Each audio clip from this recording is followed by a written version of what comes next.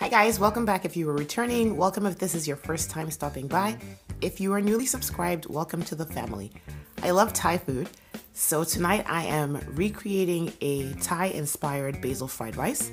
I can't call it Thai basil fried rice because I don't have Thai basil.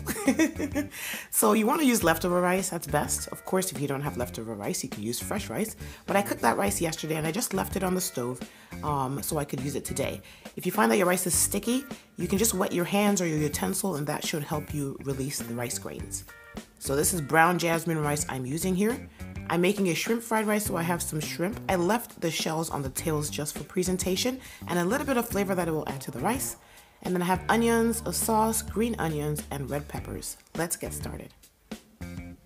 I have added to my pan there about two and a half tablespoons of coconut oil, and I'm pressing in one clove of garlic. You can use more or less depending on your taste.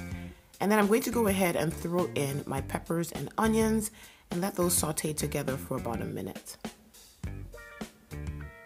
I'll also be adding some chili peppers, so we'll see that later. I just moved the peppers and onions to the side and I'm going to throw in the shrimp. I'm just going to cook them until they're done because you don't want them overcooked.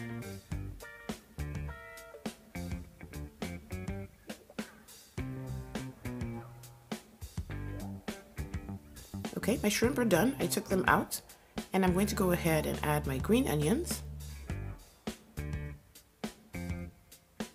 And then I'll add um, the sauce.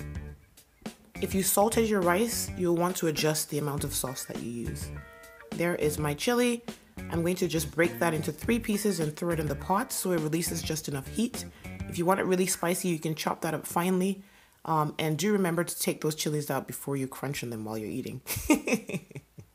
so now I'm adding the rice. I'm going to mix that in nicely so that it's well coated with all the sauce. And then I'm just going to allow it to warm up since it's already cooked. Time to add our basil leaves. Again, I didn't have Thai basil, so I'm just using regular basil. Um, and then I add the shrimp, toss it all together. Again, just let the flavors blend for about a minute or two. And our fried rice is ready.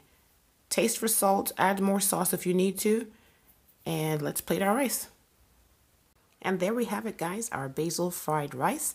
Give it a shot. Let me know what you think and I'll catch you next time. Bye.